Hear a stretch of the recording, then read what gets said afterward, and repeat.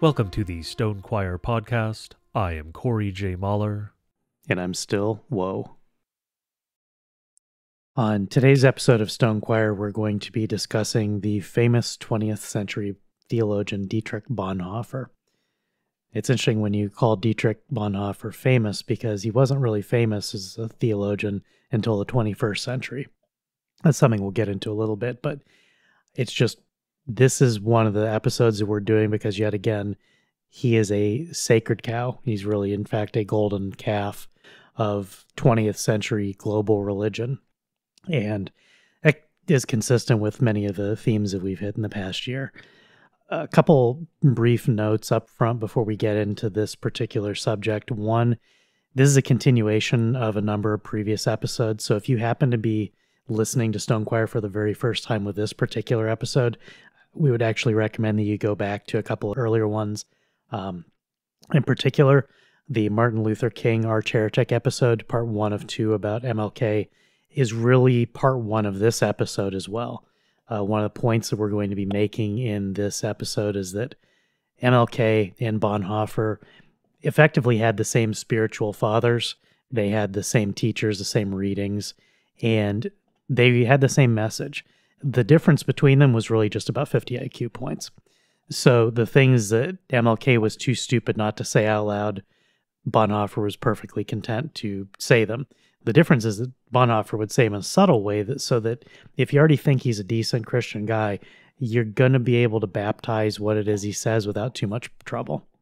Another episode that this ties into is one of the early ones on the clarity of scripture and some of the World War II stuff. We're not really going to get into it beyond just a couple superficial details, but the context of it is in view of the three part episode that we, or three part series that we recently concluded on the Jews. So we're going to assume that you have listened to those as we're talking about this. All our episodes stand alone, but this one in particular, one of the things that's concerned Corey and myself as we've been looking to tackle this subject is that because Bonhoeffer was really smart and he was really subtle, it's tough to make the case that he was evil because you can superficially read some of the things that he says out of context and say, "Oh yeah, I can I can agree with that. I can believe that." In fact, it's interesting. There were a number of things that when I was reading, particularly in some of his letters from prison from 1943 and 44, after he was under arrest for treason, a number of the things that he said, that Bonhoeffer was saying at the end of his life,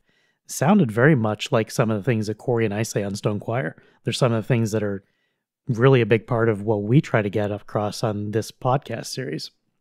The reason that's so fascinating is that the men, the pastors who hate us the most, love Bonhoeffer.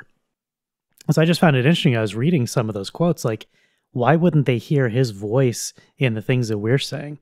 And the reason is we're coming from completely opposite directions we talk about those things. So we'll get into a few of those in a bit, but it's just, I found it very interesting that we have completely different spirits, and yet in some cases have very similar specific words for things, specific concerns about things. We have very different solutions because we have very different origins for the the concerns themselves. So as we get into this, I want to tie back into the historical context of the man. As I said, he's considered to be a 20th century preeminent theologian that almost nobody knew about in the 20th century. I did a search on Google Ngrams, as I often do, and we've mentioned a number of times in the past. You can do a search for a word and see how frequently it pops up in literature and in magazines and other things. Bonhoeffer's name didn't appear really until the early 60s. Basically, you can plot the curve of Vatican II in the plot of Bonhoeffer. And in the 60s, they take off on identical curves. And I firmly believe that that was the birth of a new world religion. One of the striking things when you're reading about the history of Bonhoeffer, introspection by other theologians, is how widely he's viewed as a man for all denominations, a man that the liberals love and the conservatives love. And that's really weird because that's not really how Christian theology usually works. Like when when sound doctrine is paramount in the discussion in the church, usually you have people that are on opposing sides because some of them just don't believe the Bible. And so The fact that the ultra libs and people who think they're conservative both see this man as their saint is very interesting. And then the timing of Vatican II, I was just, it made me laugh. Like, well, yeah, of course that would happen. And then it sort of died off, the interest in Bonhoeffer, until this century. It wasn't until the beginning of the 21st century that he really became very popular. And so, just to begin, I'm going to give a couple brief quotes. These are from Christian News, uh, which was a, a, publication from a Lutheran pastor. That it was around for decades. Uh, he was a man who long went after some of these subjects when the rest of the world was kind of ignoring them. This is a description that I'm going to read, and I'm going to read a, a brief description of an event that took place at our, one of our seminaries in 2006. Dietrich Bonhoeffer was one of the authentic heroes of World War II, a German Protestant theologian who spoke out furiously against Hitler and participated in an assassination plot against him. Bonhoeffer was hanged on Hitler's orders three weeks before the Nazi dictator committed suicide on the eve of Germany's surrender in April 1945. I think it's probably the bulk of what most people know about the man. He was a German pastor. He fought Hitler. He was hanged for attempting to kill him. And then he wrote some stuff. Yeah, it's pretty much all people know. The reason I wanted to begin there is that it's the World War II thing. It's subtly, he doesn't it's not mentioned here, but it's about the Jews. The third episode that we did in the series on the Jews is part of this. So again, that's why I said that this episode is it, it's kind of a final quiz for a lot of what Stone Choir has done previously. I hope that we succeed today because, as I said, this is it's a hard case to make once you get into the really subtle things he says.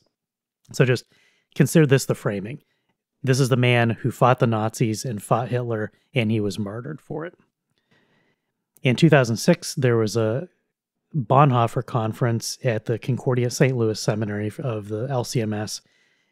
Began uh, July 19th through the 21st. Quote, Dietrich Bonhoeffer may well be the most widely admired and respected Christian theologian among Christian pastors and theologians in the USA. The scope of his appeal is exceptionally broad, spanning across virtually all Christian denominations and across perspectives ranging from the traditional to the liberal. His centennial offers a unique opportunity for activities that highlight the many remarkable aspects of his theology and life. This conference features nationally and internationally recognized experts on Bonhoeffer these include Lutherans and members of other church bodies. There will be emphasis on confessional Lutheran aspects of Bonhoeffer's thought and at the same time presentations from other Christian perspectives. It's a unique opportunity for Lutherans to highlight perhaps the most important Lutheran theologian since Martin Luther and to converse about the contributions Bonhoeffer can make to the life of the 21st century church.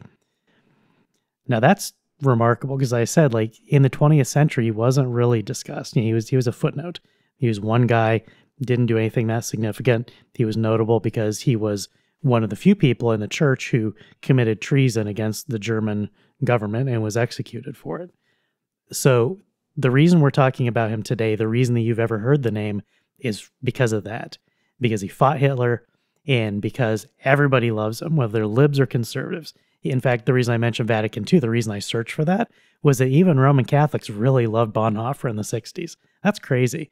If if here's this Lutheran pastor, this Lutheran theologian from the liberal wing in German theology, and Roman Catholics like, yeah, that's our guy.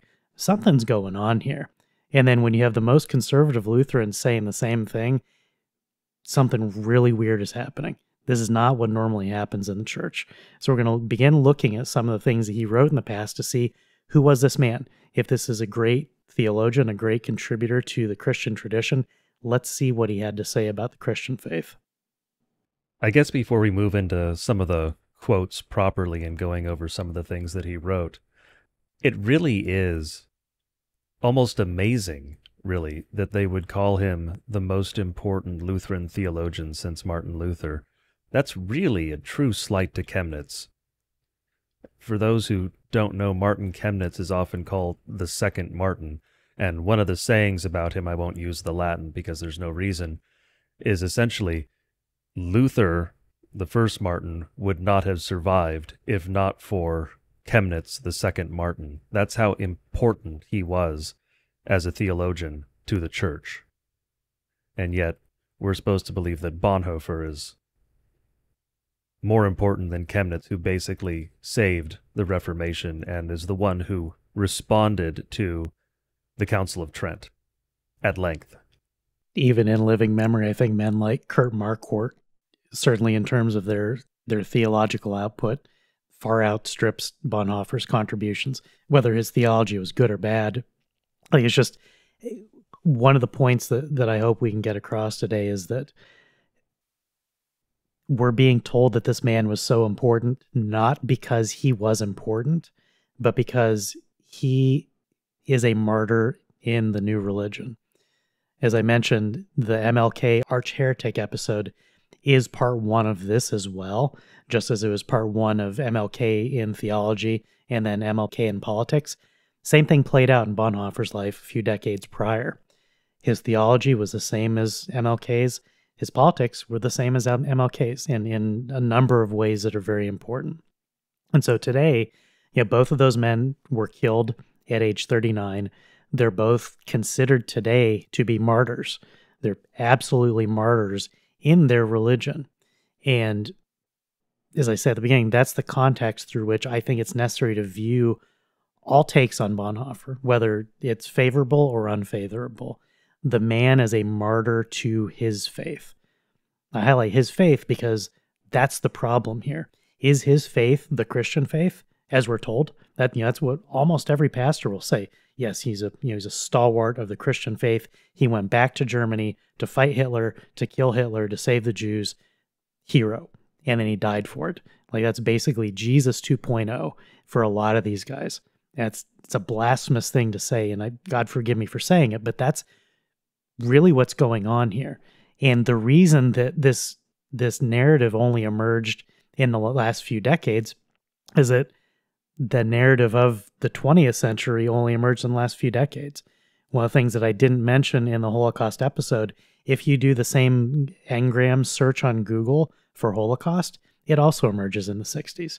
There was no Holocaust described in the 40s or the 50s. Now, some of the things that are claimed to have happened then were reported at that time, but the narrative of the so called Holocaust emerged in the 60s, around the same time as Bonhoeffer, around the same time as Vatican II, and they've all been on a trajectory upwards ever since then.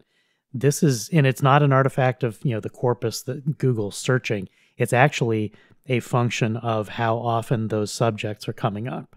It's how often those subjects are in people's minds and in their mouths. If it's what people are talking about, it's going to show up more frequently. So those graphs sometimes are extremely telling.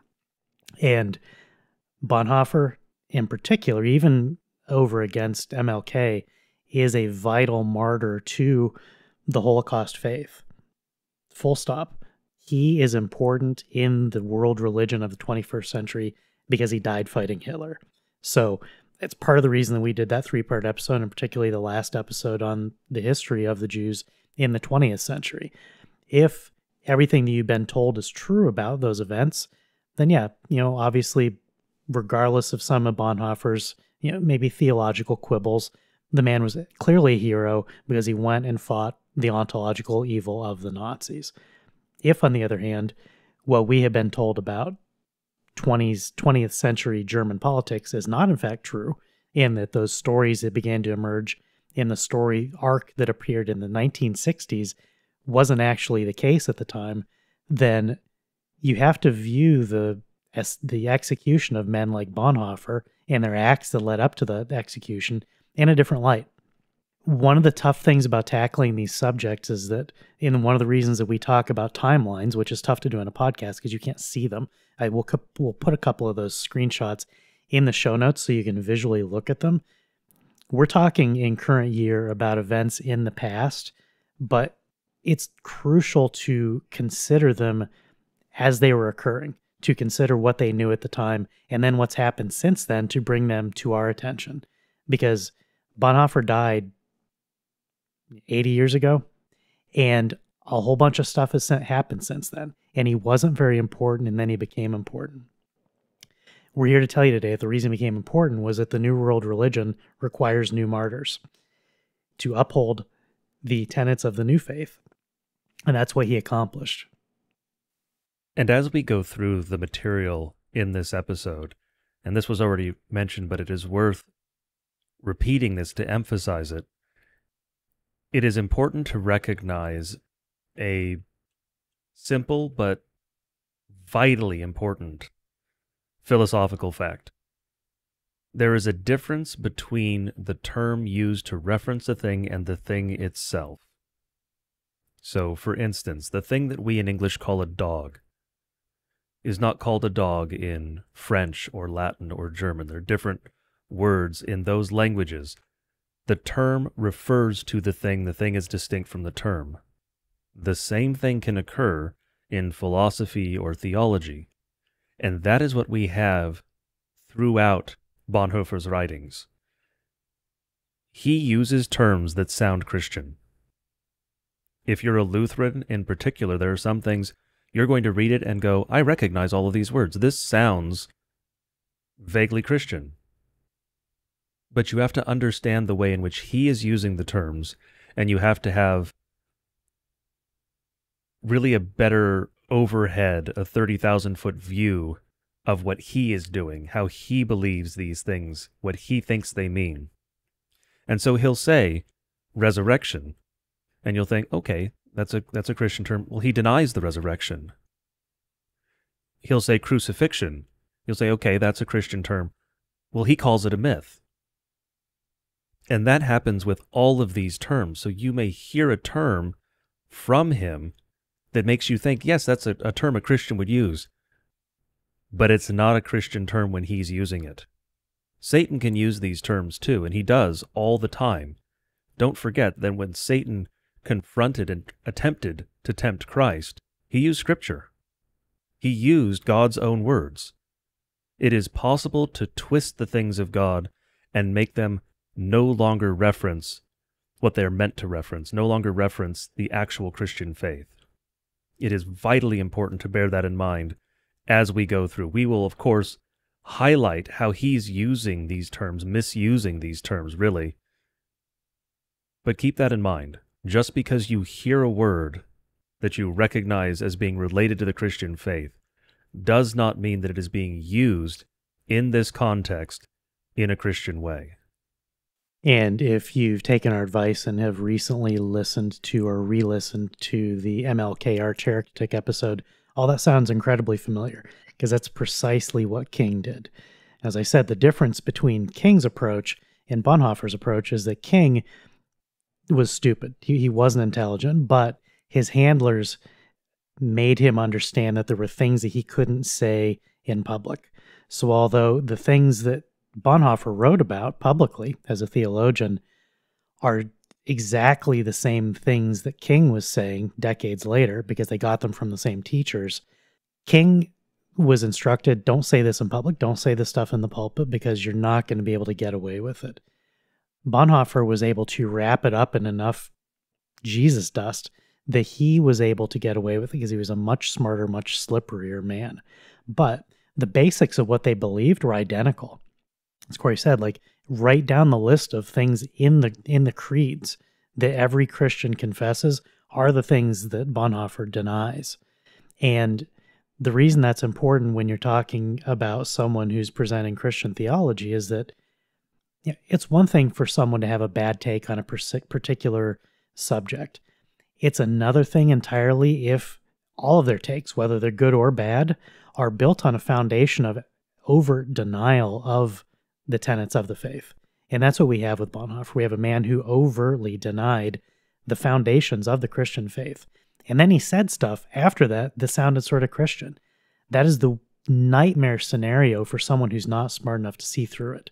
So, just as the first example, this um, a few of the quotes we're going to do earlier on are from a book called Christ the Center. This is described as Bonhoeffer's kind of Christological magnum opus. The important thing to note with this is that he didn't write this himself. Christ the Center is effectively table talks from his teaching in around 1933. So the authors of that book compiled all the notes from as many of the students as they could get a hold of and resynthesized his talks and presentations on thing. Now, in the beginning of the book, and obviously is something that we as Lutherans will point to clearly, Tischreden or table talks are notoriously unreliable sources of information because you know it's it's it's hearsay. Someone said something and then someone else wrote it down and then they're giving it to another person saying yeah he said this. It's potentially reliable or unreliable. You can't necessarily weigh it.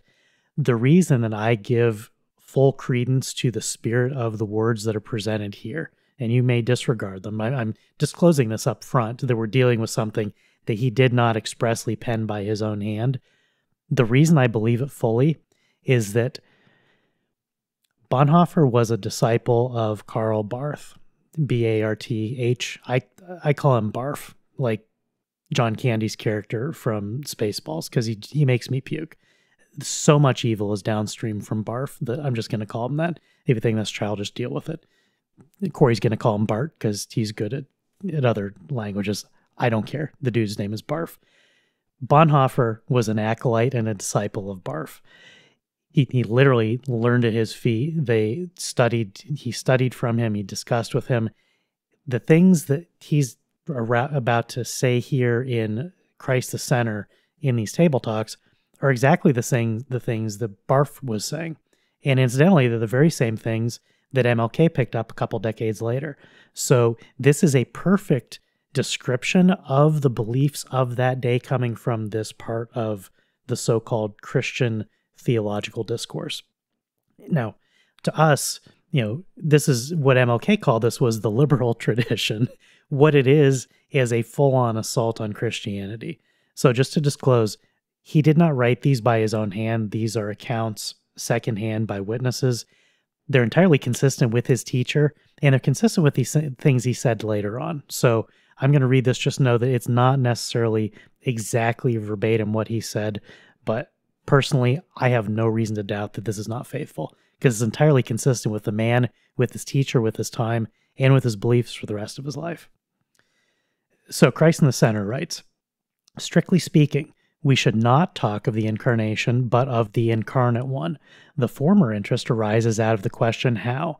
The question how, for example, underlies the hypothesis of the virgin birth. Both historically and dogmatically, it can be questioned. The biblical witness is ambiguous. If the biblical witness gave clear evidence of the fact, then the dogmatic obscurity might not have been so important.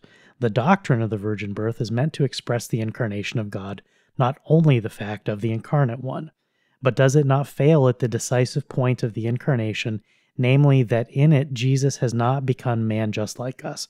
The question remains open as and because it is already open in the Bible. So, this is consistent with what MLK said. The virgin birth is a myth.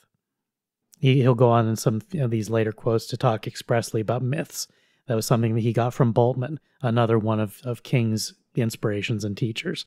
Bultmann was very big on mythologizing scripture.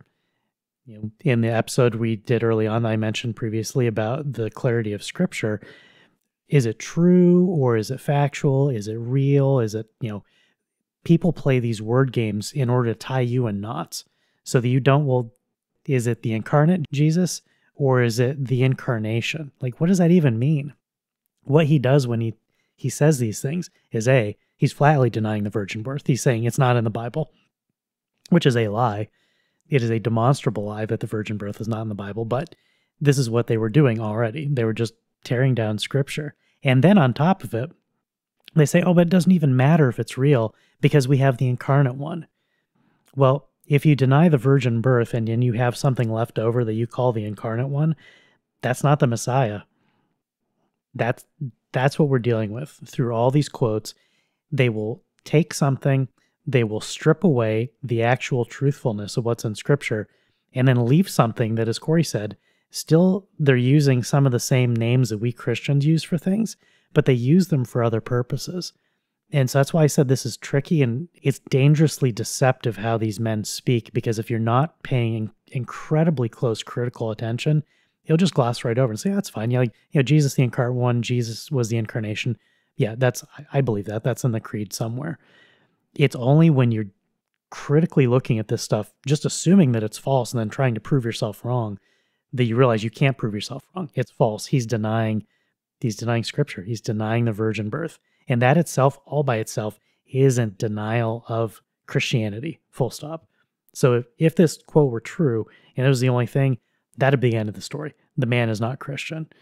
Part of the reason we're beginning here is that this is one of the more crystal clear examples of Barth's theology coming through in his mouth and then him continuing it on ultimately to treason and attempted murder.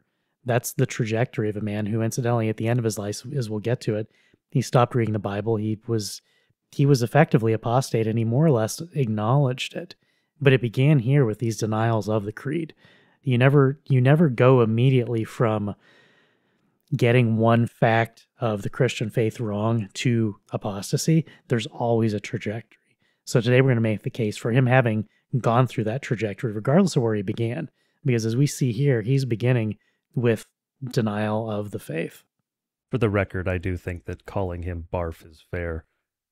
Particularly considering there's there's a sort of contagion to vomiting for certain people where one person will vomit, and another one will. That's kind of how it works with that theology. There's another linguistic point to make here, and I know it seems like we're going to make some hyper technical points in this episode, but it's important. The word myth is not univocal. The word myth does not have one meaning. The word myth can be used in a good or a bad way with regard to theology. You can call Christianity a mythos and still be an actual Christian.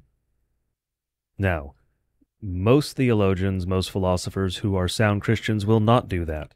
That is a specific, specialized, technical sense of the term myth or mythos, whichever one you want to use. Those are interchangeable. That is not what Bonhoeffer is doing. Because he, in other places in his writing, explicitly contrasts myth and history. He does not identify them, he does not consider them as overlapping. He considers them distinct things, and he considers myth to be unreliable, to be untrue, to be made up. One of the examples he uses is the partly former, partly still Japanese belief that the Tenno, otherwise known as the Emperor of Japan, was descended directly from a goddess. He uses that as an example of myth and contrasts that sort of Eastern belief in the descent of their kings, their emperors from gods, as myth from Western history. So when he says myth, he means it didn't happen. So the word myth in his mouth, coming from his pen, is calling whatever is a myth untrue, saying it is not historical fact, it is not empirical. And elsewhere in his writing, he constantly makes claims about Christianity not being empirical truth. And this is again from Bart, in large part, because he makes a distinction between the empirical and the religious, and says that the religious doesn't necessarily correspond to the empirical, and calls the Old Testament a series of religious truths, of religious claims. And in so claiming, he says that they are not empirical. And this is one of the ways that we wind up with a rejection of apologetics from men like Barth and Bonhoeffer and others, because they don't believe that religious truth corresponds to empirical truth, and apologetics relies on that. But we also see here, just at the outset, the first real chunk of his writing with which we're dealing, not even a very big one, his rejection of dogma and doctrine. And this is throughout his writing. He basically says that Christianity is not a series of dogmas or doctrinal claims, which it is. Let's be clear here. Christianity makes truth claims. Christianity is a series of truth claims. If those claims are false, Christianity is false. He's saying that doesn't matter. Doctrine doesn't matter. Dogma doesn't matter. I have a, a quote here. Before we started recording, we're discussing potentially using a generated voice to read some of this because to some degree, I don't even want these things in my own voice.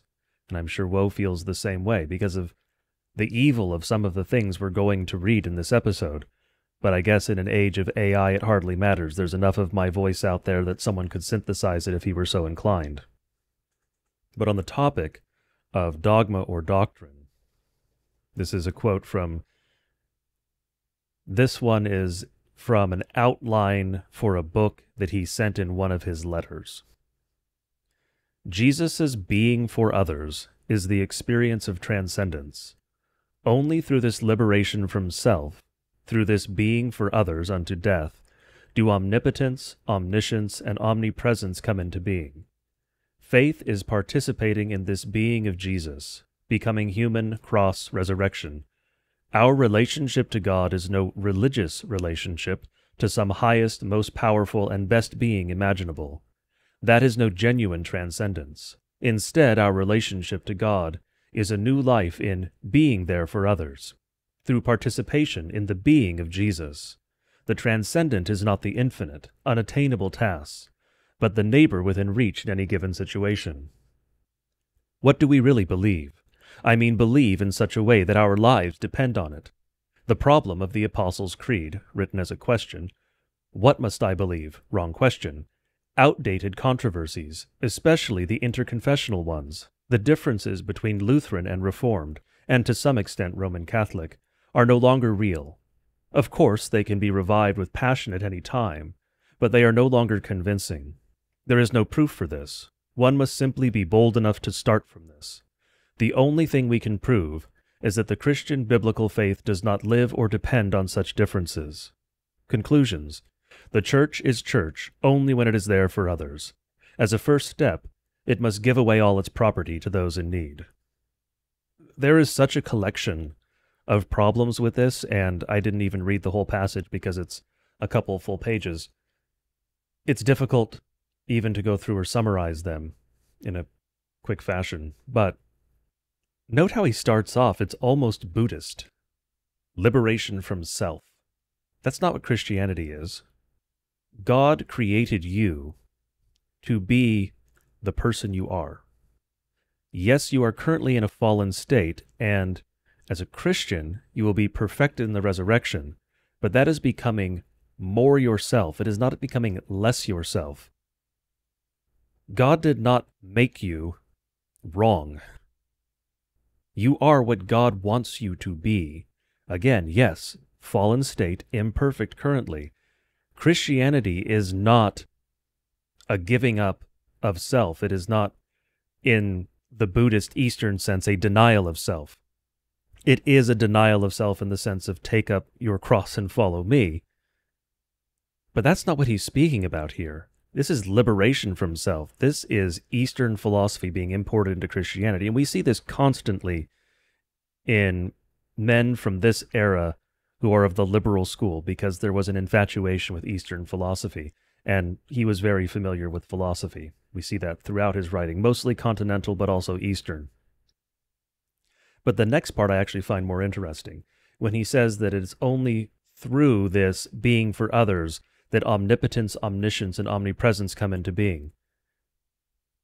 This is a blunt denial of the nature of God, which is, as we have highlighted in previous episodes, a denial of the nature of God, a denial of the attributes of God, is a denial of God because God is his nature, his attributes are his nature. These are interchangeable.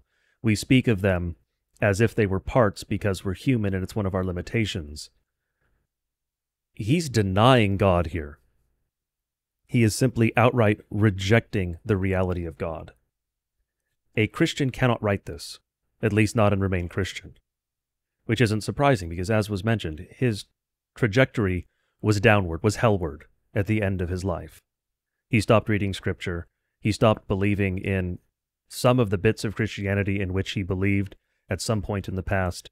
He became more and more apostate as he went on. And you see that where he calls the Apostles' Creed a problem. Literally, words it as a question mark, the problem of the Apostles' Creed. Christians don't view the creeds as a problem. Christians view the creeds as a summary statement of our faith, and as someone who claimed to be Lutheran, he was bound to believe that every word of the creeds is true. It's part of our confession. Not that the confession, of course, meant anything to this man. And then it's in that same paragraph where we see this denial, outright, blunt denial of the importance of dogma and doctrine, of the importance of truth. Because that is what is actually at stake when you deny that doctrine is important. If you say that the differences between the Lutherans and the Reformed don't matter, or between the Reformed and the Romanists, or the East and Lutherans, whatever groups you happen to pick, if you say that those differences don't matter, you're saying truth doesn't matter. Because there are only three options. If Lutherans claim A, the Reformed claim B, then if A is right, B is wrong. If B is right, A is wrong. And of course, the third option is both are wrong and there's a third option C. But you cannot have these differences not matter because these are about eternal things. This is about truth. And the truth matters because the truth is one of the attributes of God. It is part of his nature. But of course, elsewhere, in many places, Bonhoeffer denies that truth matters. The truth is even a transcendent thing. And he full well knew what he was saying because he was familiar with the philosophy that deals with the transcendentals. He repeatedly, in his writing, denies God. That is not something that a Christian can do.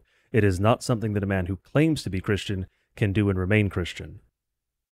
This was one of those passages that I found interesting because small pieces of it echo, as I said, things that you and I say on Stone Choir. And I think this is where the origins of those beliefs come from diametrically opposed places. When MLK and Bonhoeffer are saying, forget this doctrinal stuff, we just need to focus on neighbor and focus on, you know, the the liberation theology version of best life now. You know, basically it's it's basically a manifestation of Tikkun Olam, which we talked about, I think, in the second episode of the three part on Jews. When Corey and I specifically talk about care for neighbor, love of neighbor, love of family, respect and love, and preservation of nation, that is race, it is not self referential. It's obedience to God. It is looking up and looking at scripture. It's looking to see what God has revealed to us, what He's telling us to do as our creator, and then following through because we acknowledge that we are creatures the distinction between the approach that we take, which is a Christian approach of living a Christian life in view of heaven, of God's promises, and of God's commands, versus the Barth and MLK and Bonhoeffer view, is that they basically say God is going to be whatever we feel He is. We know we have this feeling that God is this good stuff. Let's make the good stuff happen now. And so, as we're going to get to in, in some of the quotes here in a little bit, he eventually gets to the point that he's like, we don't need God anymore in theology in order to have Christianity. And we don't need to call it Christianity anymore because Christ is gone, but we still have all the stuff that God wanted for us. That's the exact opposite of what Corey and I believe. That's exact opposite of what Christianity teaches. Like it's not that's not Stone Choir theology versus Bonhoeffer theology. It's literally Christianity versus the satanic destruction of things that were good for the sake of creating a world where nothing good can ever again exist. So it, it struck me that, again, this is one of those things that it sounds a bit like us if you're not paying attention to the sources, but it's, it's very clear that we're on exactly opposite sides of these questions. There's another quote here that's also from Christ in the Center from 1933, where he flat out denies that Jesus was perfect. He says, here it is necessary to understand what the likeness of flesh can mean.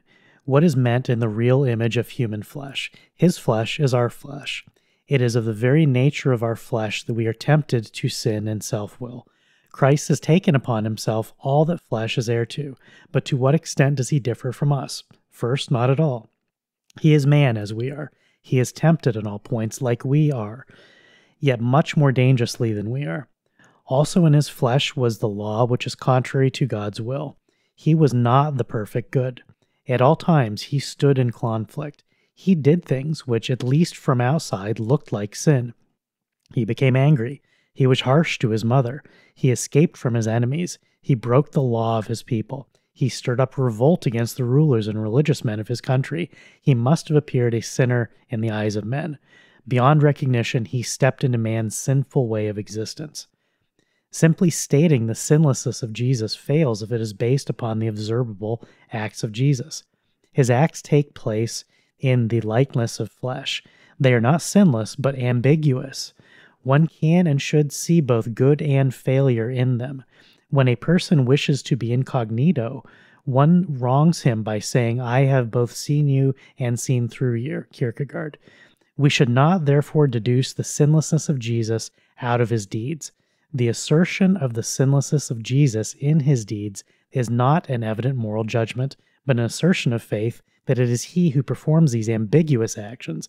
He it is who is eternally without sin. Faith confesses that the one who is tempted is the victor, the one who struggles is perfected, the one unrighteous, one is righteous, the one who is rejected is the Holy One. Even the sinlessness of Jesus is incognito. Blessed is he who is not offended in me, for Matthew 11, 6.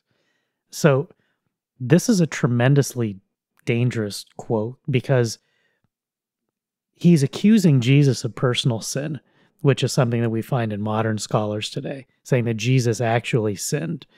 But then just sort of brushing it away and saying, well, because he was God, you know, wasn't really sin and we can't understand. He, he gives a list of Jesus' sins in his life and says, well, yeah, sure, he had to do that because he became sin for us, which is a quote from scripture. The problem is that, again, this goes back to one of the rank heresies we find even among Lutheran theologians today, which is that when Jesus was tempted to sin, that was an internal temptation, that he really wanted to sin, but because he didn't actually do it, he didn't sin. That's blasphemy. When Jesus was tempted, it was external. We've talked about this before. When I want to do something bad that is a part of my nature, the temptation is internal because my evil self, the the unregenerate self, desires to do that which con- is contrary to my regenerate nature. I see something, I want to do it, I'm tempted to do it. My regenerate nature gives me the power to resist that temptation and not to follow through with the sin. But the point to be made is that the desire to sin is itself sin. That is internal temptation. There are also external temptations there's some things where, you know, a fleeting thought pops into my head and I'm like, where did that come from? You know, tempting me to do something. And it's the exact opposite of anything that's in my interest. You know, we, we all have these fleeting thoughts where something just pops in your head and you're like, why would I think that? That's that's horrible. That is external temptation. That is the devil messing with us. It doesn't happen constantly. It shouldn't. If, if it is happening to you constantly, you need to pray for for help and for protection from the Lord and for forgiveness from a life that is putting you in a position where there are constant external temptations, but the internal temptation is according to our sinful nature. The external temptation, as Jesus faced with Satan in the wilderness, where he's saying, Eat, jump, worship, those were external temptations. Jesus was tempted because Satan tempted him. Jesus was not tempted to do what Satan wanted. There was there was never any possibility that Jesus was going to bow down before Satan. It wasn't like he considered it for a fleeting moment and then decided better of it. That would be the sort of internal temptation that you or I might face. Even with resolute faith, if Satan appeared to one of us and said, I'll give you the whole world, all you have to do is bow down before me, we would have to consider it. No, no matter how fleetingly, there would still be a consideration in our minds because that would be not only Satan tempting us, but us being tempted by it internally. Like that sounds like a pretty good deal. I would like the whole world.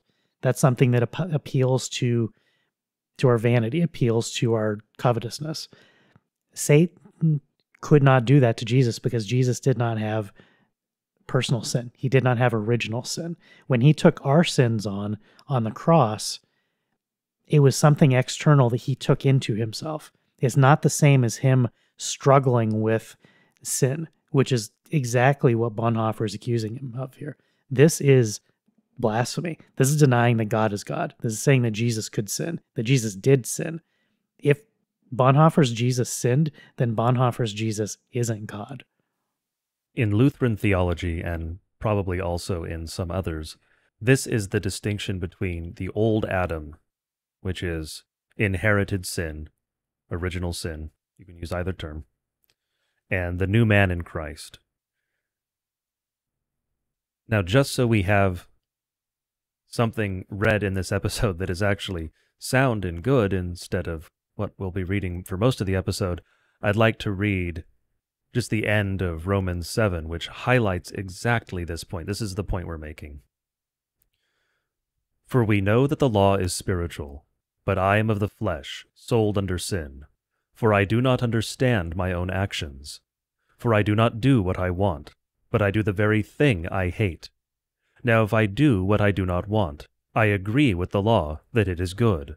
So now it is no longer I who do it, but sin that dwells within me.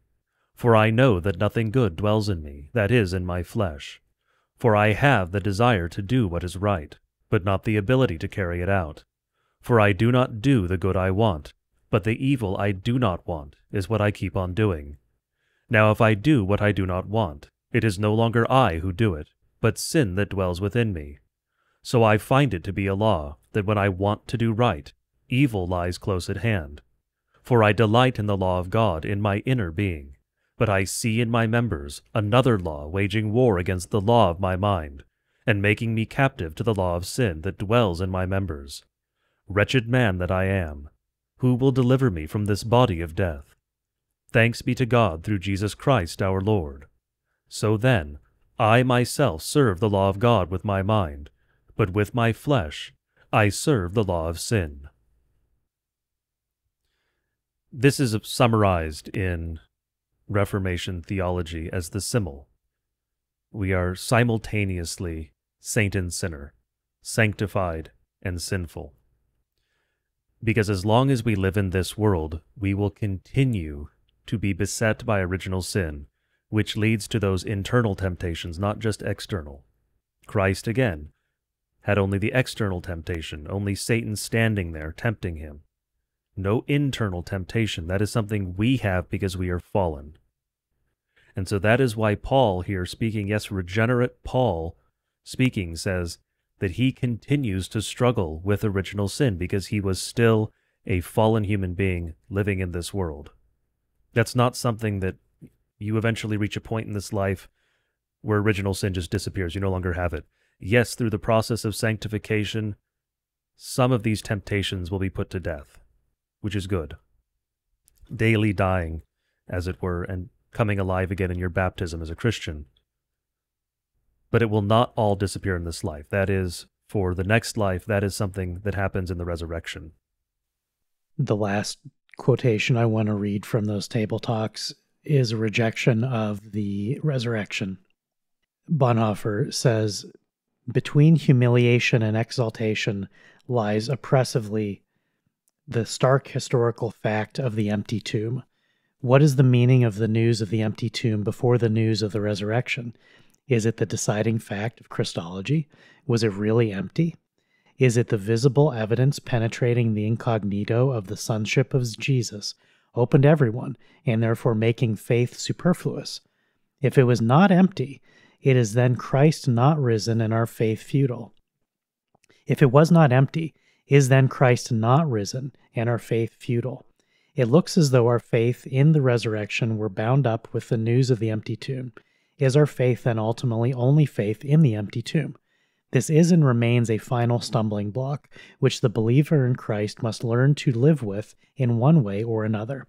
Empty or not empty, it remains a stumbling block. We cannot be sure of its historicity. The Bible itself shows this stumbling block when it makes clear how hard it was to prove that the disciples had not stolen the body. Even here, we cannot escape the realm of ambiguity. We cannot find a way around it. Even in the testimony of Scripture, Jesus enters in a form which is a stumbling block. Even as the risen one, he does not lift his incognito. He will lift it only when he returns in glory. Then the incarnate one will no longer be the humiliated one. Then the decision over faith or unbelief is already taken. Then the humanity of God is really and now only the glorifying of God. So again, you know, he's playing these word games that we've warned against. This big brained garbage where these guys will come along and they'll just vomit word salad at you. And you're not sure what happened, but your faith is undermined as a result of it. That the the uncertainty and the ambiguity, which is a word he directly used. He says it's ambiguous. Did Jesus rise from the grave? Uh, there's no, we can't be sure of its historicity. Another direct denial of the creeds, another direct denial of Scripture. I don't know if Jesus rose from the dead. Who knows where his body went? That's not the important part. And this is why Bonhoeffer is able to talk about these things when King had to avoid them. Because King wasn't smart enough to say, well, it doesn't really matter. The virgin birth doesn't really matter. The resurrection of the dead doesn't really matter. He denied them in his papers because that's what he had gotten from Barth and Bultmann and these other demons. But he didn't know how to provide the and then. So when he went to his audience and in preaching, so called, he just left this stuff out because he didn't have the chops. Bonhoeffer is dangerous because he basically says, Did Jesus rise from the dead? I don't know. It doesn't matter. He's coming back on the last day anyway, so why worry about the historicity of this Bible stuff? That's that's the whole shooting match. If if you can get someone to deny the creed and say, "Oh, but it doesn't matter. Jesus is coming back anyway." That last part is true. Jesus is coming back anyway, and when he returns to judge the quick and the dead, he will find you guilty of all of your sins because you've rejected the God who sacrificed on the cross to forgive them in the first place. The reconciliation provided on the cross to all men is not given to those then who deny it. The price was paid, but if you say, I don't want that credit, I'm going to do it myself, when Jesus come back, he's like, okay, here's the bill, and you're going to spend eternity paying it in hell. So this this tricky stuff where it it sounds kind of confusing. Like we said, he's a smart guy. He's writing this stuff in a manner and speaking in a manner that will confuse most people. As Corey was saying earlier, as we've warned, when it's it's a reason that I that we've been using the phrase all along, Jesus dust and Jesus butter. These guys will slather on the things that sound Christian to you and then say, oh, but we can't be sure of the historicity of the resurrection. Because you swallowed their bait and went down the path with them that they're actually talking about the one true God, by the time they get to the point to say, I don't know if the tomb was empty or not, I don't know where the body went, but don't worry, it doesn't matter. Your brain is just going to skip over the the tomb wasn't empty or they stole the body and hid it and just say, well, he's talking about Jesus and he says Jesus coming back on the last day. So the rest must be Christian and I'm just not going to worry too much about it because I'm not really sure what the guy said that is a trap for your soul. And that's why these guys are so deadly. And that's why some of the worst men in religion today love Bonhoeffer because he provides an excuse for them to deny anything they want. It's not that he's it's not that Bonhoeffer's theology is providing a script for a separate religion. He's acting as a solvent against the very foundations of the Christian faith and then leaving this goo behind that can be reshaped by whoever comes along to form whatever new religion they want. And the thing that they're going to have in common is it's going to be loving and it's going to be neighborly and there will only be nice noises and there will only be clean words and no one will ever be unhappy because they've achieved perfection in this life because that's what God would have wanted. That's that's what always happens with all these guys. And whenever they talk about Jesus incidentally, it no longer can be the Jesus of the creeds and confessions because that Jesus has very particular facts in history. God was born a man, God died a man, God was resurrected a man, God ascended into heaven a man. All of those are true. And if you doubt or deny any of them, you no longer have the true God. And anything else you do from that point on is meaningless noise. So these quotes are tricky and they're subtle. It's worth going back and listening to them or not. I mean, you know, I Corey and I've spent a couple weeks now reading through this crap and it's vile. And it's partly vile because you have to have your guard up to such an extensive degree to see the trick that's being played. And it's not that we're being unfair. It's then when we look at the rest of the things that men like this guy say in the context of these confessions denying the virgin birth, denying that Jesus was sinless and therefore God, denying that he was bodily resurrected.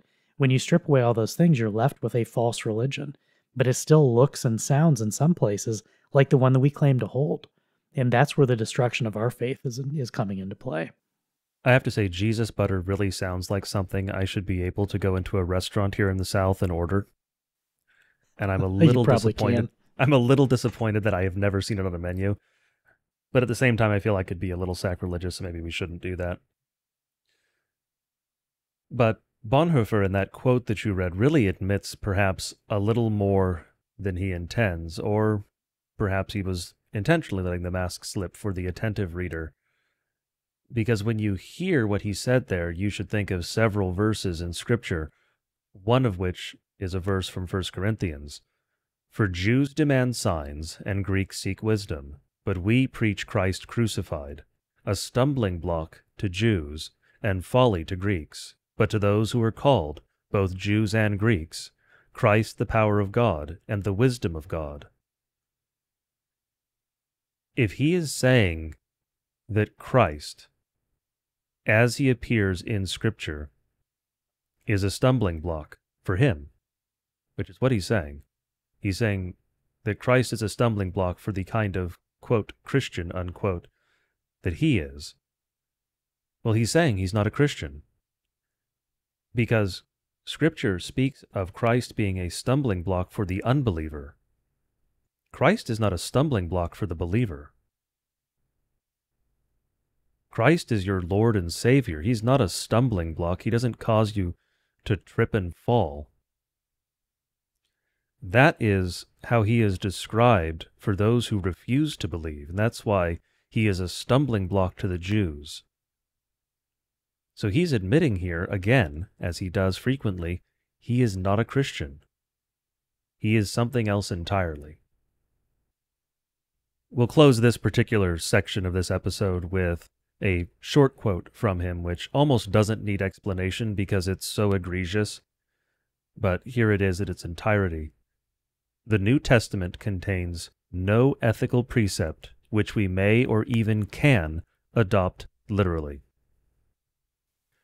This appears many times in his writing, in his writings in various forms, where he outright denies that there are actual principles or ethical rules in Scripture. And in other places, he says that God is arbitrary because he says that the ethical principles that we see in Scripture aren't universal, aren't eternal. They are simply tools in God's hands, his words, that he will use and then abandon when he is done with them. Which again is a denial of the nature of God. It's saying that God is changing, that God is mutable. It's saying that God isn't truth you cannot be a Christian and say these sorts of things. And Scripture is, for the record, full of ethical precepts that you can, in fact, adopt literally. Scripture is very clear about what they are, and that they are eternal. We've gone over this before the different kinds of law in Scripture. There's the moral law, which is binding for all men at all places, all times.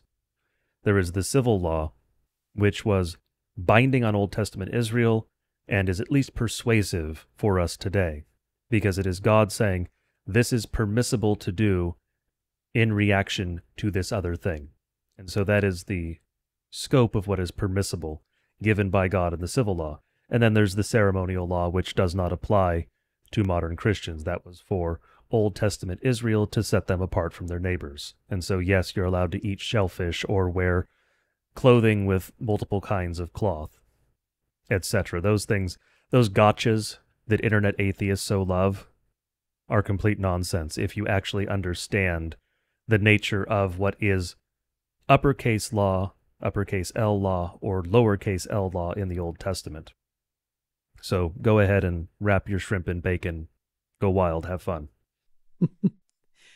Just don't wear polyester underwear because that kills your T levels that's actually the one we should keep. We should uh, just have a, a, sort of a modern version for Christians of the the multiple types of cloth one. It's don't wear synthetics because they're horrible for you.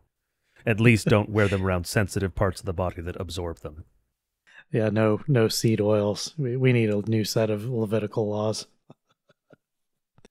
So the next set of quotes that we want to get into, most of them are going to come from Bonhoeffer's letters from prison. He had been in prison at this point as part of a plot to murder the Chancellor of Germany. We should note, though, before we mention that he, at this point, well, it depends on which point in the letters, because initially he was in prison because he was, well, he wasn't really suspected, it was known that he was engaging in corruption with regard to his military office, which that is worth noting. He was working in the military intelligence of National Socialist Germany. He got into that by another gentleman. I don't think I'll bother with his name because he's not really relevant to this episode. Also, not a good man, but he was part of the resistance movement and he got Bonhoeffer to be involved in that. And so he wound up basically running messages, helping with communication, including across enemy lines to the Allies later on. And so he was using his government office to directly oppose the government. Perhaps not quite rising to the level of treason until he started communicating with belligerents, of course, then it was treason. And then he compounded it by becoming involved in an assassination plot. So initially, he was only held in basically a standard prison in Tegel in Berlin. I believe, yes, in Berlin. I've actually seen the one of the locations, but he was then later on moved to one of the concentration camps when it became clear that he was involved in the assassination plot. And so many of the letters we see initially, because he was just allowed to write freely while he was in the normal prison. He could receive visitors. His fiancee came and met with him. His parents came and met with him. He received packages. He was given, obviously, plenty of ink and paper. And so you have to bear in mind just a little bit of the timeline and that background information that he was actually involved in the military intelligence at the time and so he was effectively acting as a spy and became a traitor. And that's why the intro that we did relating this episode to the prior episodes in the history of World War II. If you believe the current historic narrative, then sure. I mean, every Christian obviously would betray Germany because betraying Germany was service to God. That that's literally what we're told today. The only good Germans were the ones who betrayed the government because the government was evil. So that's the dividing line. That's the that's the moral line that exists and it's a lens through which everything that we read about in these periods must be read, must be viewed. You cannot understand anything without looking in one direction or the other through that lens. Either the German government in 1943 was evil or it was rightful.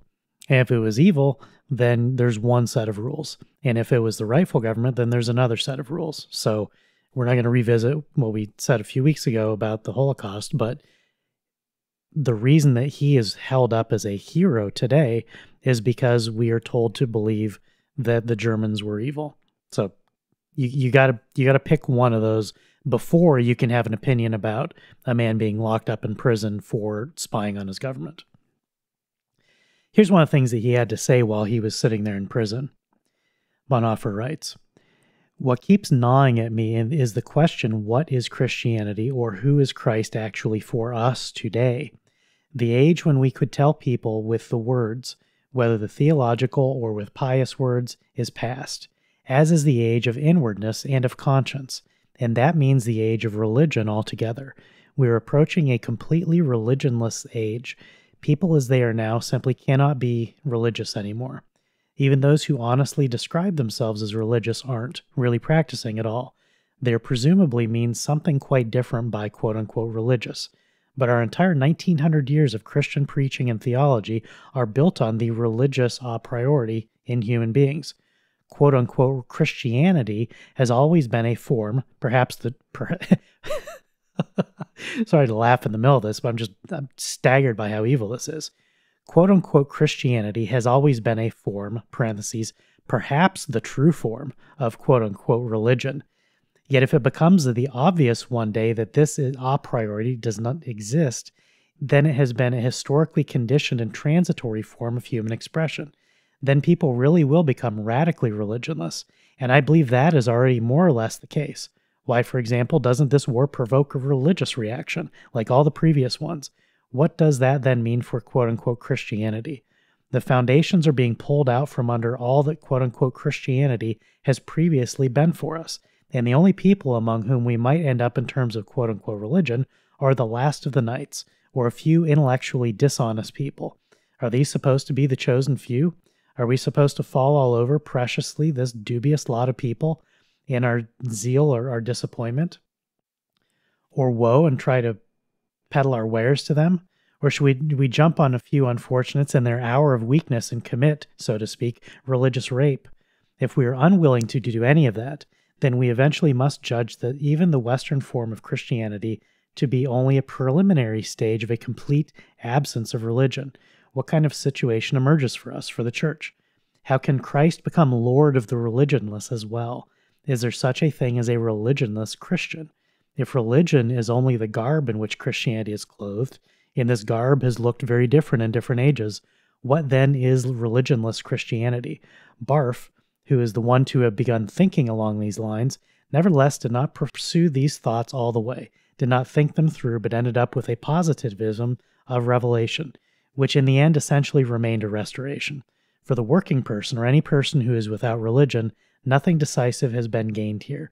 The questions to be answered would be what does a church or congregation, a sermon, a liturgy, a Christian life mean in a religionless world? How do we talk about God without religion, that is, without the temporally conditioned presuppositions of metaphysics, the inner life, and so on? How do we speak, or perhaps how can we no longer speak the way we used to in a worldly way about quote unquote God? So, this again is consistent with something that King had talked about as well. And frankly, it's also consistent with something that Corey and I talk about today. But again, in completely opposite directions. When we on Stone Choir talk about the world today being a religionless one, one in which God is not visible in life, in a in a godly fashion. We certainly see God's actions and everything's everything every day. We do not see the will of God typically being acted out by people in the world. That's one of our chief complaints on this podcast. The difference in our response to Barth's response and to Bonhoeffer's response is that they say, okay, well, I guess God's dead, so what do we do now? If there's no religion, if there's no thought of any religion at all, and again, when he's putting religion in quotes and Christianity in quotes, that goes back to something we've talked about in another previous episode where we have we have this notion that religion itself is a manifestation of human will that all religions are man-made. Remember that was in that was in some of king's papers. That was one of king's very clear predicates that all religions are man-made and that the various forms of quote unquote religion are downstream from some inherent wellspring of the human nature and so sometimes you have a religion that's better, sometimes you have a religion that's worse, but they're all fundamentally humanist at their heart. That's antithetical to Christianity. Christianity comes from God. Christianity is found in Scripture. It's delivered to us through the church by faithful teachers in Scripture. When he tears all those things away and say, well, we have this godless world now, so how do we talk about doing good things without talking about God? That gets back to what we were saying earlier. He doesn't want to talk about Christ anymore. He he wants to still do the good things, to still have whatever wisdom, whatever love, without actually having it rooted in obedience to God, in immediate obedience, which is what we talk about all the time. When I talk about obeying God, there's an immediacy to my knowledge that what I am trying to do is from Scripture. It's what God's telling me, and I'm doing it because God told me to do it, or I'm failing to do it in spite of what God told me to do. That's the law. And the gospel is that I'm forgiven even for having failed because God has revealed that in spite of our failings, He loves us and gave us a physical Christ in history 2,000 years ago who died and was raised from the dead and walked out of the tomb so that our sins would be forgiven and we would know that it was true. These men want a religion where none of that is necessary. They want to just strip out the religion and strip out the metaphysics and strip out all the spiritual stuff and say, you know what? let's just have the humanist thing because in you know, after 1900 years of the church, we're now to the point where we've sort of perfected it. We can we can strip away those mythologies and that embarrassing antiquated stuff and just have the raw humanist form of this thing. That's that's what plays out in all these things and it's the undercurrent of all of his comments. And so near the end of his life, just 2 years before he's going to be executed, he's basically he's saying that same thing Nietzsche says, he's saying God is dead. What now? And there's a there's a positive way you could read some of this. As I said, like these are some of our concerns and in bits and pieces too. But his ultimate concern is without God, we still need to cope going with some sort of religious project. So what's the new religious project going to look like? That's the exact opposite of Christianity. The next quote we have is also from his letters while he was in prison, written to Eberhard Bethge, he wrote many of the particularly wicked things he wrote to this younger gentleman. A few more words about religionlessness. You probably remember Bultmann's essay on demythologizing the New Testament. My opinion of it today would be that he went not too far, as most people thought, but rather not far enough. It's not only mytholo- it's not only mythological concepts like miracles, ascension, and so on, which in principle can't be separated from concepts of God, faith, etc., exclamation point, that are problematic, but religious concepts as such. You can't separate God from the miracles as Bultmann thinks. Instead, you must be able to interpret and proclaim them both non religiously. Bultmann's approach is still basically liberal, that is, it cuts the gospel short. Whereas I'm trying to think theologically, what then does it mean to interpret religiously? It means, in my opinion, to speak metaphysically, on the one hand, and on the other hand, individualistically.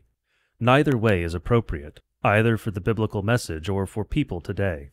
Hasn't the individualistic question of saving our personal souls almost faded away for most of us? Isn't it our impression that there are really more important things than this question, perhaps not more important than this matter, but certainly more important than the question, exclamation point, question mark, question mark. I know it sounds outrageous to say that, but after all, isn't it fundamentally biblical? Does the question of saving one's soul even come up in the Old Testament? Isn't God's righteousness and kingdom on earth the center of everything?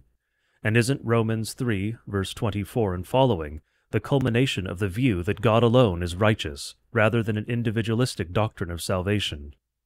What matters is not the beyond, but this world, how it is created and preserved, is given laws, reconciled and renewed. What is beyond this world is meant in the gospel to be there for this world, not in the anthropocentric sense of liberal, mystical, pietistic, ethical theology, but in the biblical sense of the creation and the incarnation, crucifixion, and resurrection of Jesus Christ. Barth was the first theologian, to his great and lasting credit, to begin the critique of religion. But he then put in its place a positivist doctrine of revelation that says, in effect, like it or lump it. Whether it's the virgin birth, the Trinity, or anything else, all are equally significant and necessary parts of the whole, which must be swallowed whole or not at all. That's not biblical. There are degrees of cognition and degrees of significance. That means an arcane discipline must be re-established through which the mysteries of the Christian faith are sheltered against profanation.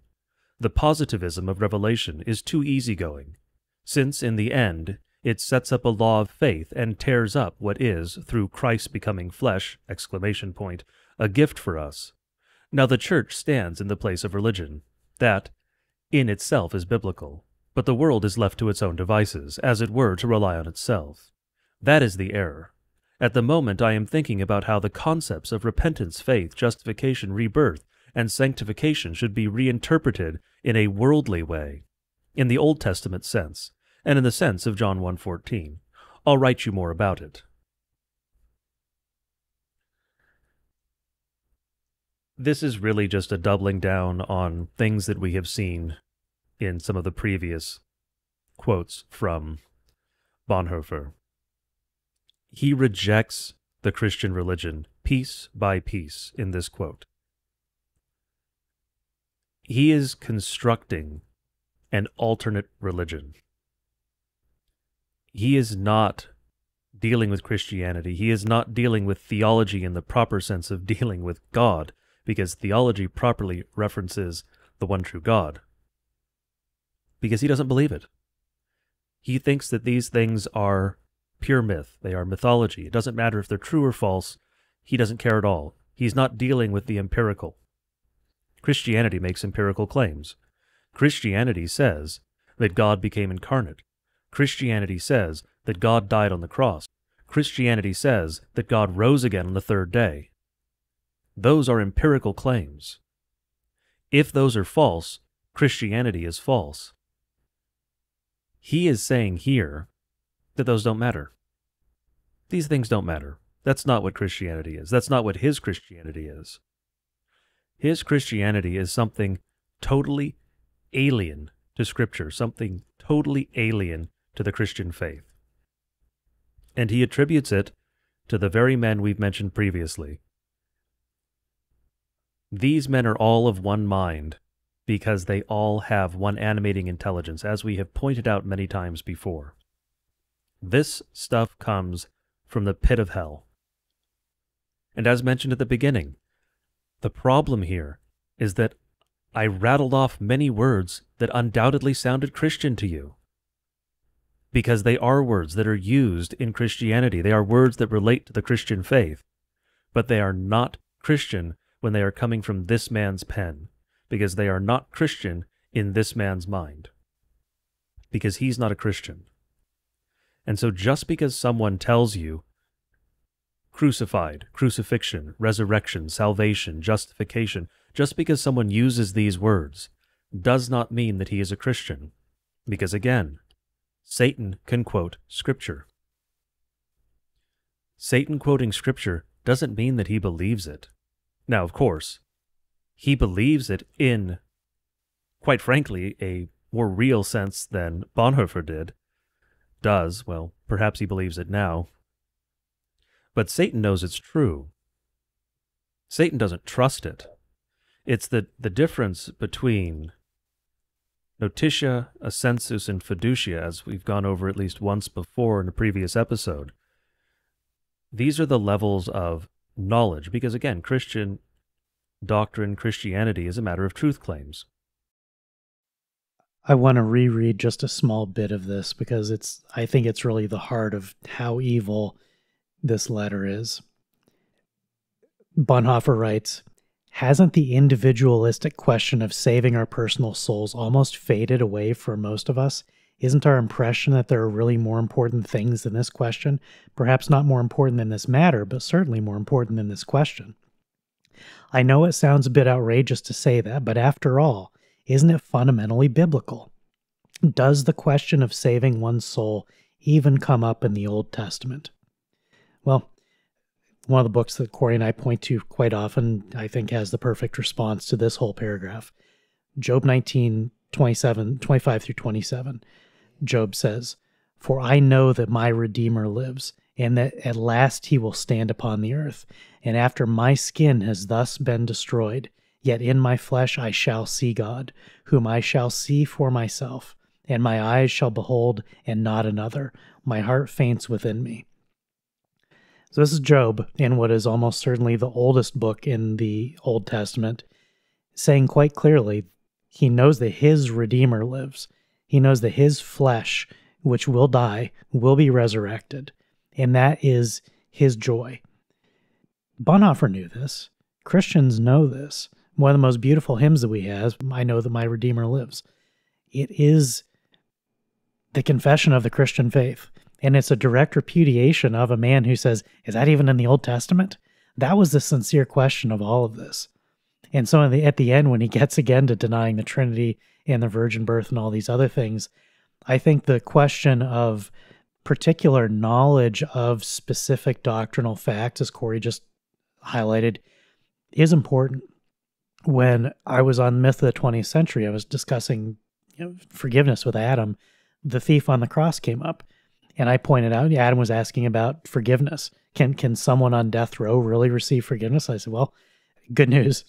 The Bible actually has a passage about Jesus in that precise situation to highlight that there are certain principles at play that come into salvation, as Corey said, and as frankly to be to be clear, as Bonhoeffer also says, it is not intellectual assent that saves us. However, the thief on the cross, although he could not have explained the Trinity, had Jesus explained the Trinity to him in whatever manner he saw fit, the thief on the cross would have said, Yes, that is my God, you are my God. The thief on the cross would not have heard the Apostles' Creed and say, This is crap. I don't, I don't believe any of this. This isn't my God. That is the difference between us as Christians and Bonhoeffer. When Bonhoeffer sees the virgin birth and the resurrection of the dead and hope and salvation, he's like, That's not my God. That's not my religion. That is his true confession. So, in all these passages, the truth of what he believes will creep through in these questions that are merely decides. Does it really say in the Old Testament that individual salvation matters? Is that even in there? Yes, it's throughout all of it. And so this is why this stuff is subversive. That was a that was a long passage, and he says some things that you can potentially agree with. A Christian can come along and baptize some of his words, reincorporating them in a way that is actually Christian, just as you could you could do a Bible study where you did nothing but quote Satan from scripture and teach a good Bible study. You would have to disagree with what Satan was trying to achieve, but Satan was quoting God in scripture. As, as Corey said, like when Satan comes at us, when he comes at Christians, at believers, he's going to use God's word to do it. Now, sometimes he'll come with other temptations completely outside. There's there's something that'll get anyone because we're weak in the flesh and we each have our own personal vulnerabilities. There's a tailor made path to damnation for every one of us. And Satan puts all his cards down every day to try to get us there. God gives us faith, He gives us forgiveness of sins, He promises us salvation. And all we have to do is not reject it. And the gift of not rejecting it is itself a gift.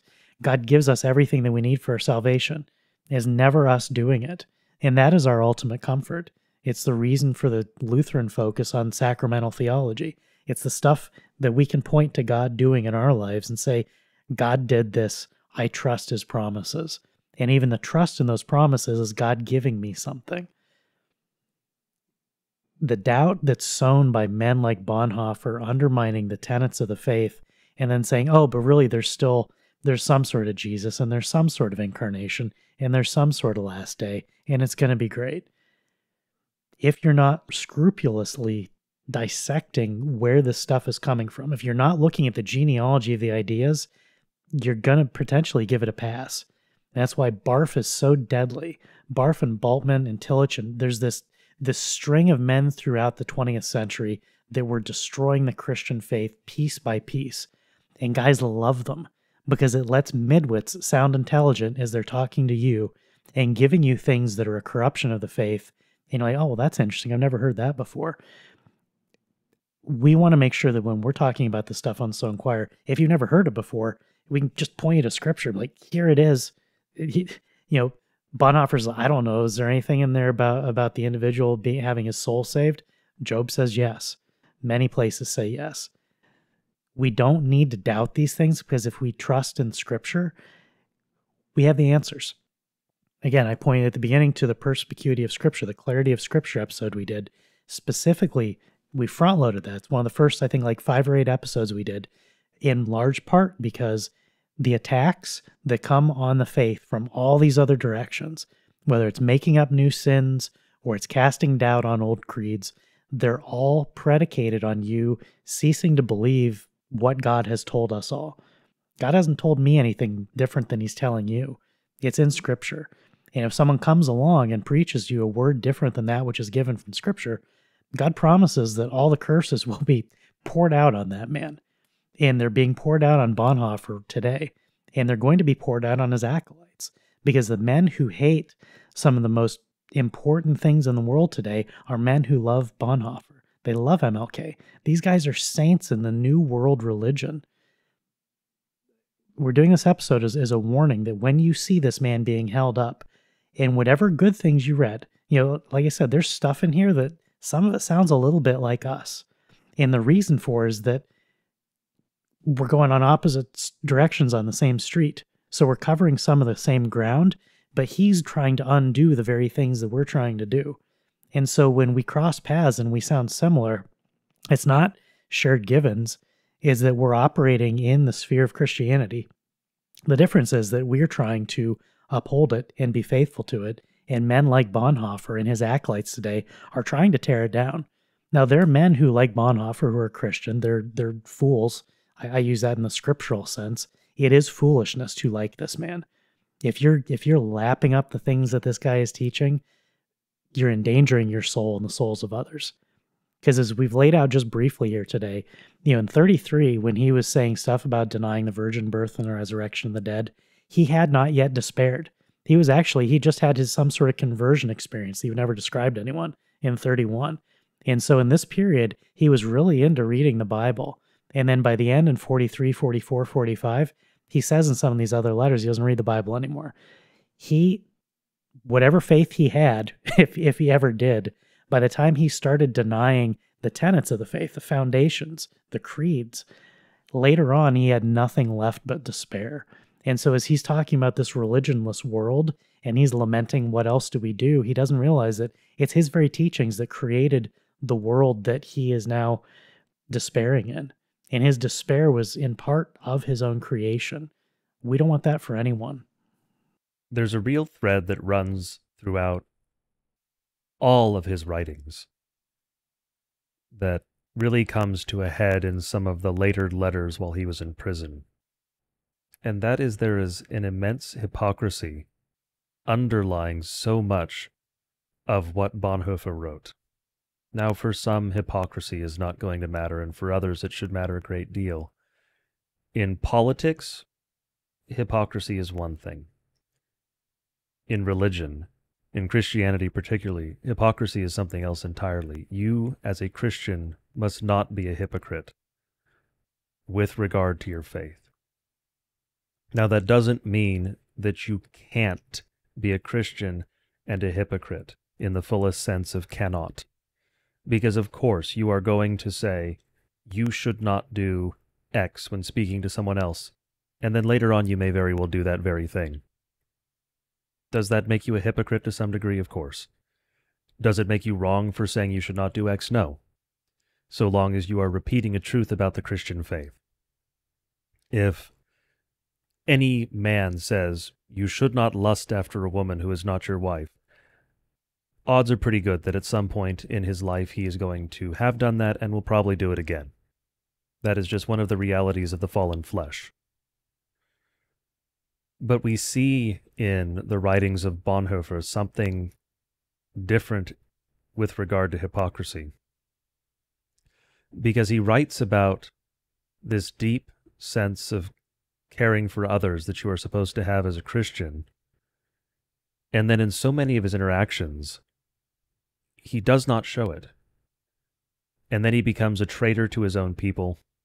He abandons in the process his fiancée, notably, he was set to be married shortly after he was arrested. I think it was I think he was either 3 months after he got engaged or 3 months until the wedding. I don't remember which one it was.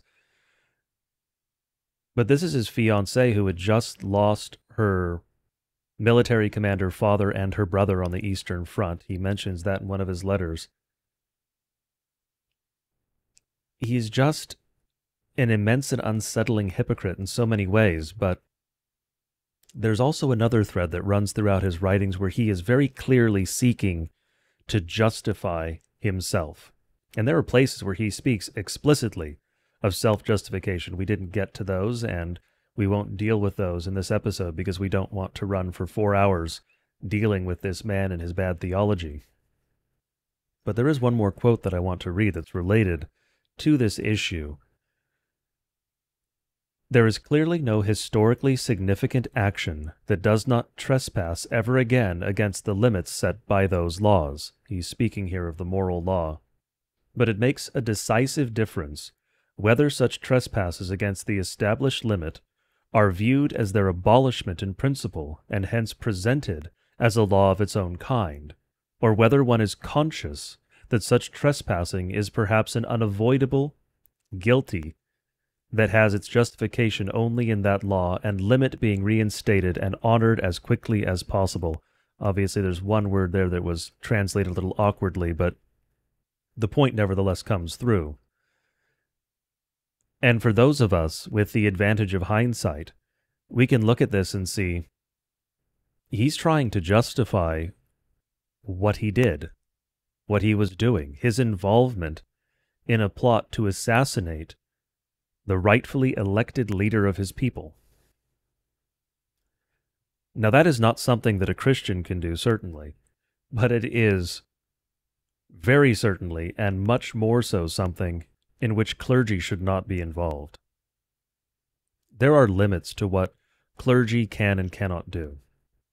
And there are some other quotes of his that are just rank clericalism. We didn't get to those either. But at one point, he says that scriptures belong to the clergy and not to the congregation, which is directly opposed to everything written in Reformation theology, particularly by Lutherans who focus the priest focus on the priesthood of all believers and very strongly encourage the reading of Scripture. This is one of the major points of contention between Protestants and the pre Reformation sects, which is to say both Rome and the East.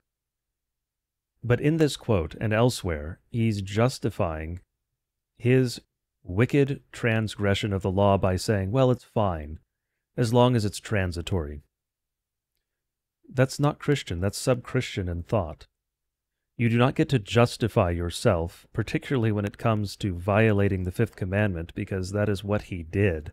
He was engaged in attempted murder, and people did die as a result. So, actually, murder, he's guilty of murder.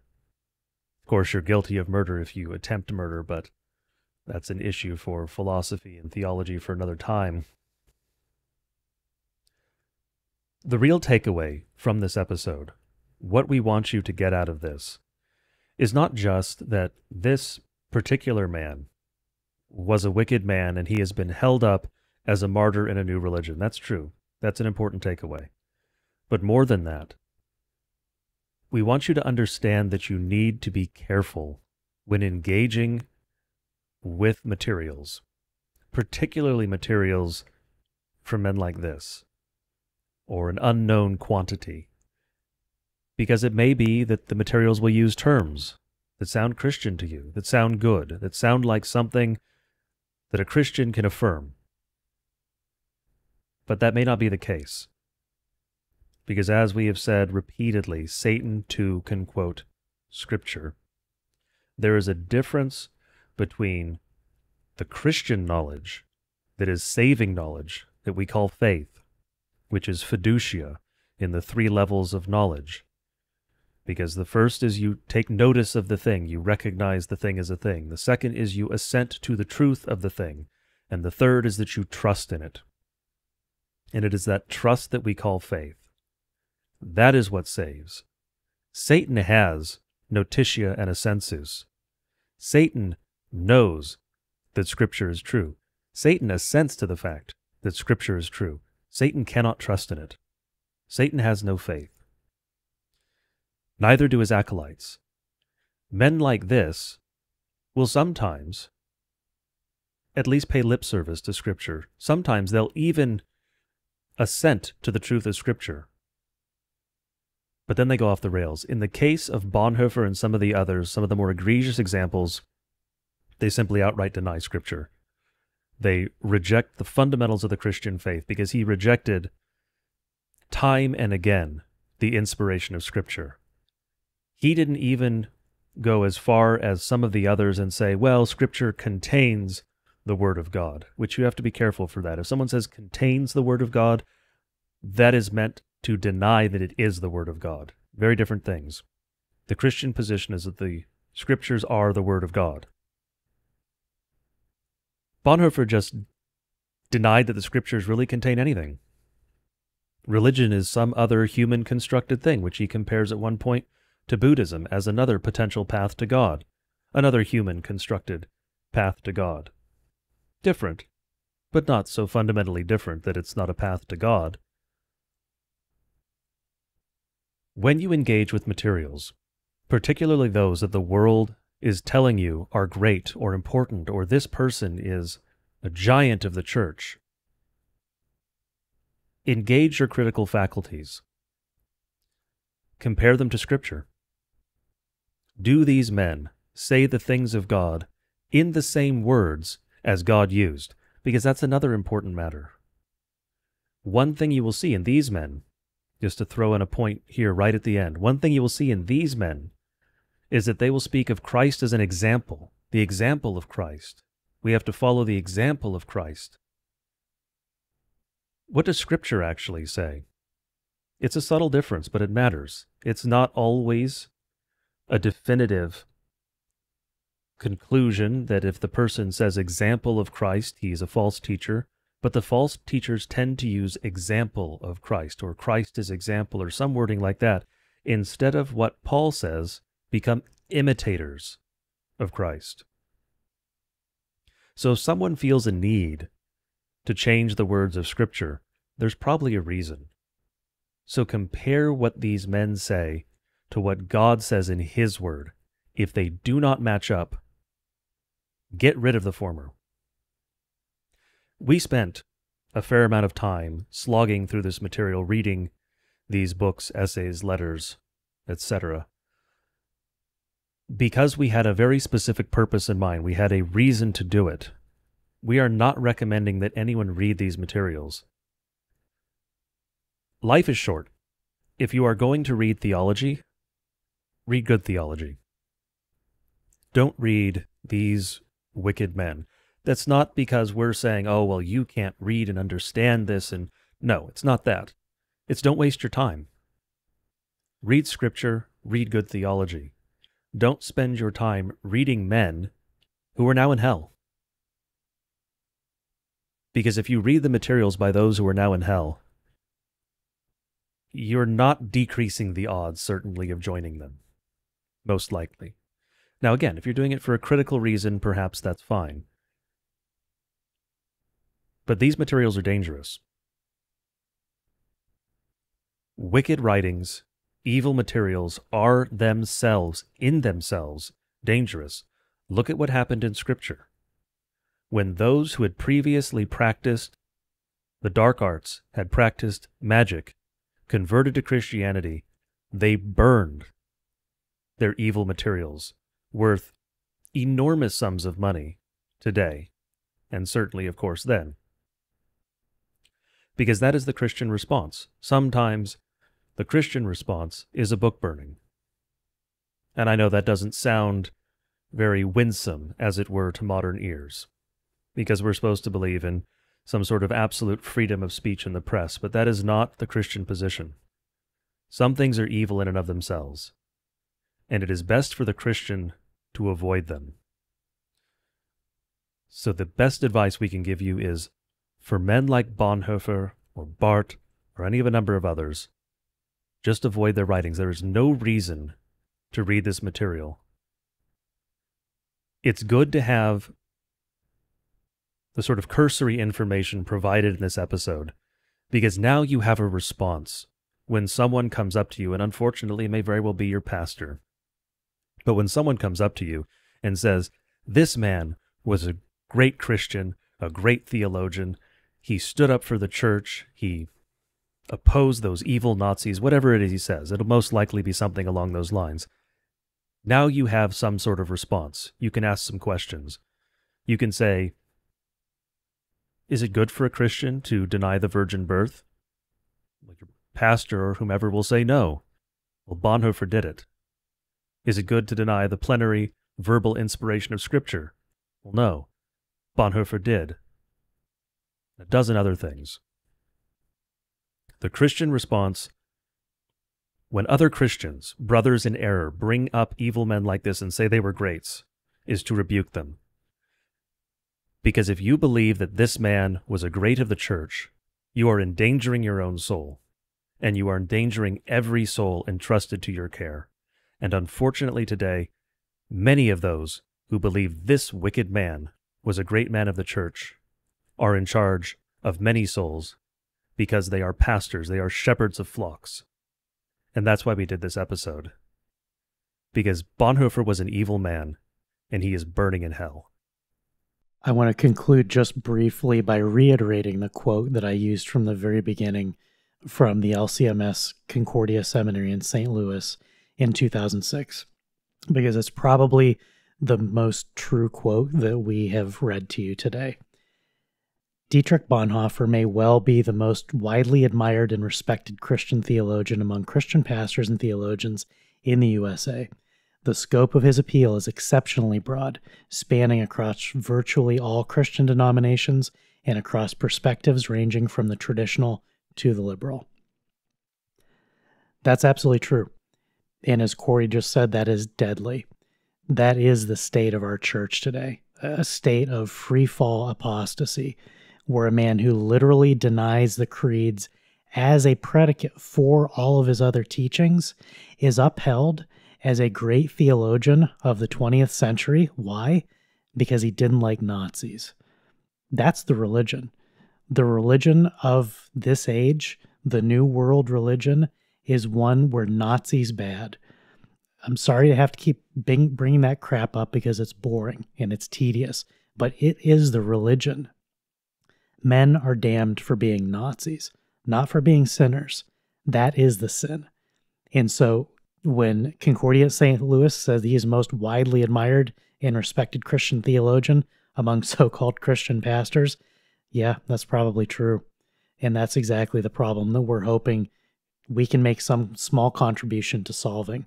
Because Christianity will not survive in an environment where men like King and Bonhoeffer are seen as Christian martyrs. These men were destroyers of souls and they are paying the eternal price for it. We don't want anyone to join them.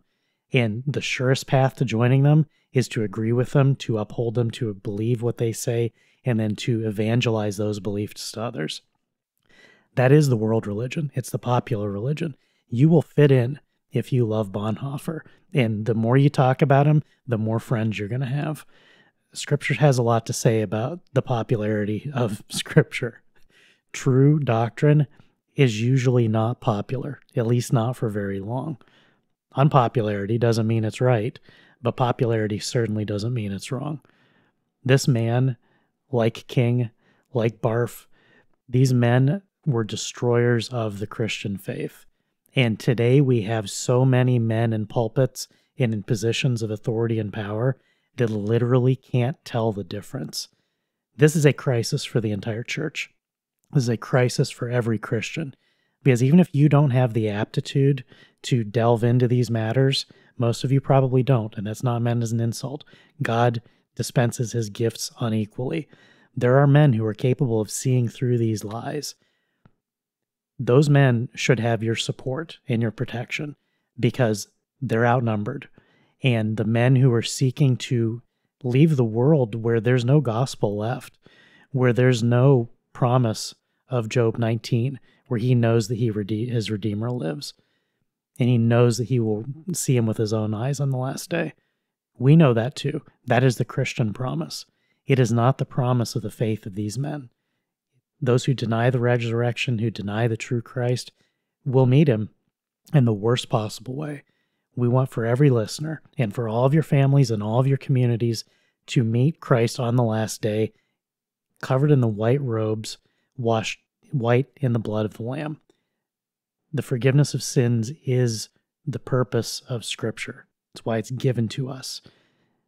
Everything that we ever do wrong in our lives, everything that Bonhoeffer ever did wrong in his life, everything your pastor's ever done wrong in his life, getting some of this stuff wrong, Jesus paid the price for that.